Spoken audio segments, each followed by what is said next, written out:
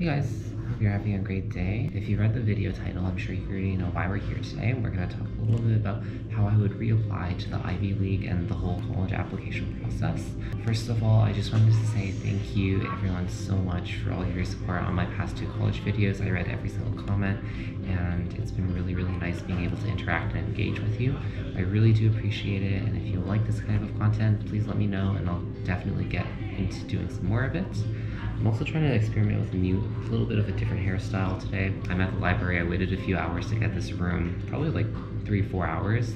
Yeah, I walked by so many people with this new hairstyle and I'm not confident at all. So let me know what you think. But anyways, enjoy. So let's jump right in. First and foremost, I just want to reflect. It's been a heck of a roller coaster ride. I've been putting myself through a lot of stress. I've been working hard. You kind of know the grind culture. It's been a journey filled with growth, challenges, self-discovery. And so some of you have been asking, but uh, which program are you going to go into? So I got into Western Ivey with advanced entry into their third and fourth year program. That's where I'm going to be headed. I- have learned so much about myself and just how hardworking I can be. Not how hardworking I am, but how hardworking I can be. But anyways, let's actually talk about what I would do to reapply for college. Okay, first thing I would obviously do is to understand that school is not as important as you think it is. Now, I'm not saying education is not important, I'm saying school is not important. Because back then, I was literally the model student. I would follow the rules and I never experimented with things, I never broke things. I made sure I attended every single class, I was five minutes early to every single lecture. And I realized there were lots of opportunities outside of school. For example, school excursions. I was so much of an opposition to this idea because I was afraid of missing classes, I was afraid of performing poorly on my test. And so back in like freshman year, with the exception of one class, I was literally getting like 97s on like every single test. And so the first thing I would understand is that it's okay to miss school, right? When there's an opportunity for an overnight excursion or there's an opportunity for a competition that requires you to miss school, I would say take it. If it's something you're genuinely passionate about, that opportunity is not going to come by again. And never obsess over your attendance record. Be an opportunist, understand that colleges want to see you engage in things you're passionate about and not just follow a curriculum that every single person does because that is what actually differentiates you from the rest of the pack. Now, building onto this a little bit, the idea of pursuing your passions and leaving school, even if you're like, for example, a varsity sports athlete, you're going to be missing classes to go to competitions and stuff. If you're a pro chess player, you're going to be missing stuff. If you're like me, I actually had to miss class a few times to attend nationals for debate, to attend debate competitions here and there. I will say this though, don't just join random clubs and skip school because I told you to. Education is important. Now, every single lecture in school may not be because you can catch up, but your education as a whole is super, super important. But don't just join random clubs because you want to put it on your resume. It's better to be great at two or three things or even be the best at one thing as opposed to joining 20 different clubs. I know back in freshman year, I joined things like the Green Team, I joined things like the Diversity Club, I joined literally every single council that you could think of. The problem with that is you spread yourself too thin, you give yourself less opportunity to excel and thrive. Really pursue your passions. That's truly what high school is about, and I can't stress this enough. People have told me, oh, do things that you're interested in. That's kind of brushed over my shoulder for like the entirety of my four years if you're a freshman now. Pursue things because you're genuinely interested, not because you want it for the resume. College admissions officers are not stupid people and they know when somebody is just doing it for the resume. So if you do something that you truly enjoy, you give yourself more opportunity, more legroom to work with, and more space to thrive. I would actually say do put all of your eggs in one basket because it's better to try something that you love and fail at it and write about that on your Common App personal statement than to do every single thing and have literally no results to brag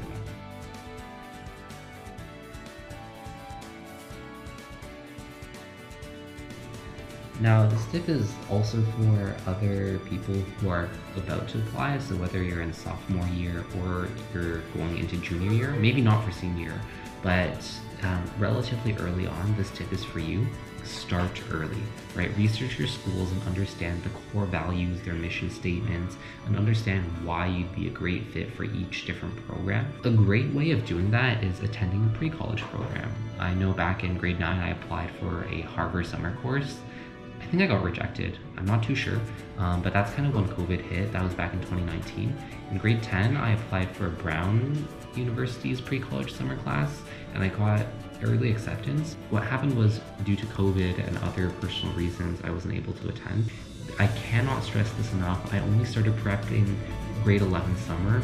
Seeing that I've done all this stuff once now, if I were to give any advice to anyone who's planning on applying to an Ivy League school or any T20 school for that matter, or even the UCs, definitely understand schools and start early. Know what you're gonna say, know how you're gonna introduce yourself, and know exactly what each school is looking for.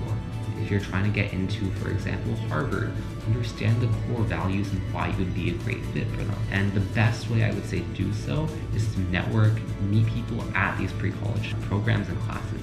So definitely if you have the opportunity and you have the financial resources, definitely attend. I think the library lights turned off or something. One of the greatest things that you can do are attend networking events, meet new people, go to bigger scale competitions, right? If you can go international, go international. In truth, I never qualify for internationals um, for WIDPSC at debate, but anyways, on with that another time. You'll meet so many great people, you'll understand so many different things about the world, and you'll be able to meet and make so many new connections can potentially offer you a research opportunity. And when you do these things, you'll increase the chances of yourself getting a better letter of recommendation, etc., etc. I did that for debate, but if I had to start over, I would choose to go into fencing. I think fencing is so, so interesting, and so many people do get recruited because of fencing. I know people who are on the fencing team who literally got recruited to these Ivy League schools simply because they're great at what they do. So if you're able to go to these international and national events, do so because that is literally going to be the spike. And if you don't know what a spike is, sometimes people refer to a spike as like the theme of your college application. Personally, I'm defined by debate and public speaking. Some other people are defined by sports.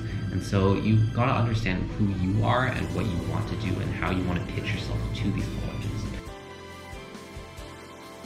There are other ways to impress college admission officers something that can really change the mind of an admissions officer is words. Start early, understand the school, and really dive in on a personal statement. It's called a personal statement because it's meant to be personal for you.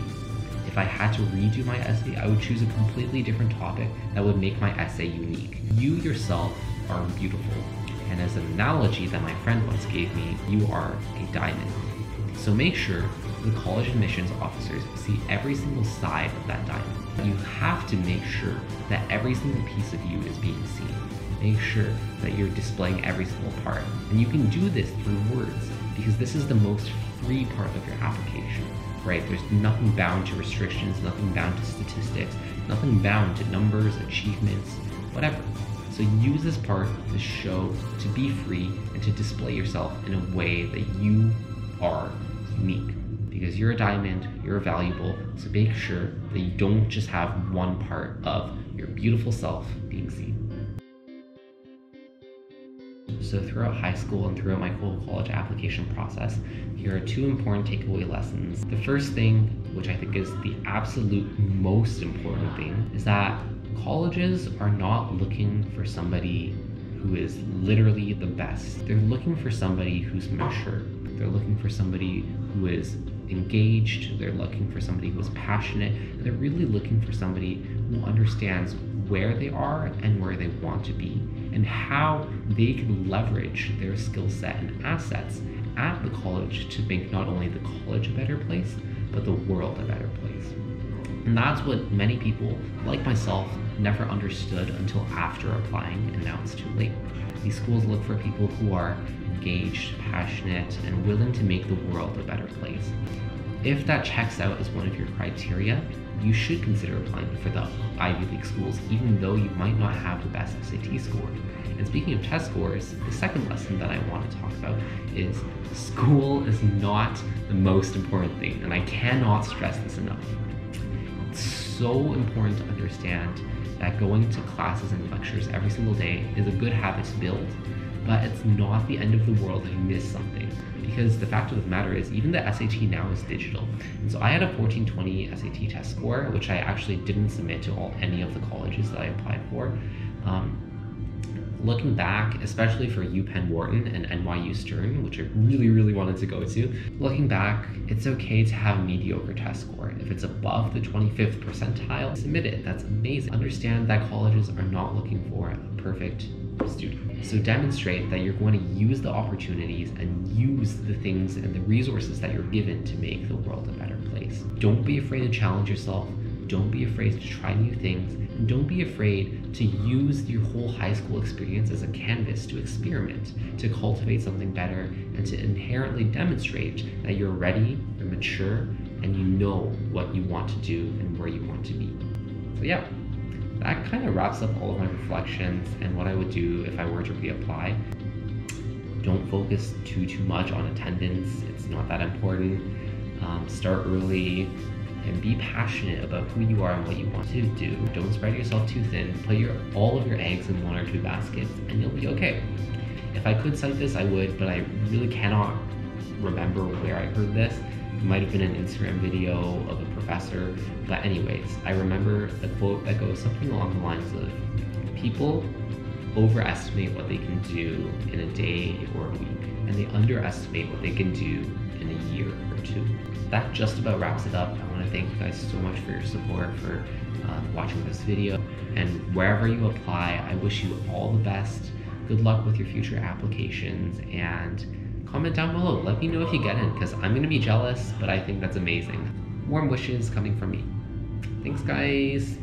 Peace out.